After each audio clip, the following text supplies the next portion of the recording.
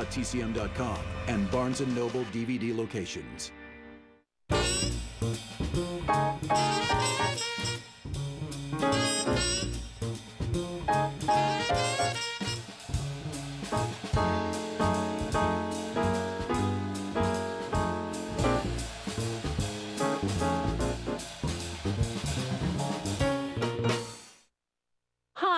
I'm Deborah Nadoolman Landis. I'm here because TCM asked me to host this month's Friday night spotlight called The Hollywood Costume. The spotlight is focusing on the contribution of the costume designer to every film.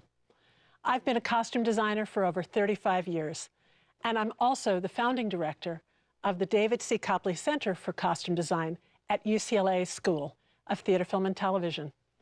I'm very passionate about costume design, and I'm delighted to share my insights with you. The next film we have features the work of costume designer Anna Hill Johnstone. It's Dog Day Afternoon from 1975, directed by Sidney Lumet, and stars Al Pacino as a young man who tries to rob a Brooklyn bank along with his two pals, based on a real incident. Johnstone's contemporary costumes triumph over mere clothing. Her characters are portraits of real people.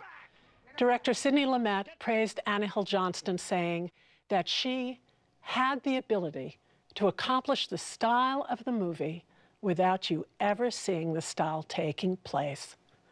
The stories she worked on, often set in New York City street corners, demanded realism. This accomplishment unheralded by the critics and unnoticed by the audience, presents the most provocative design challenge to every costume designer. Costume design, especially in modern films, is considered successful if the audiences do not notice the costumes, but are nonetheless deeply affected to the characters.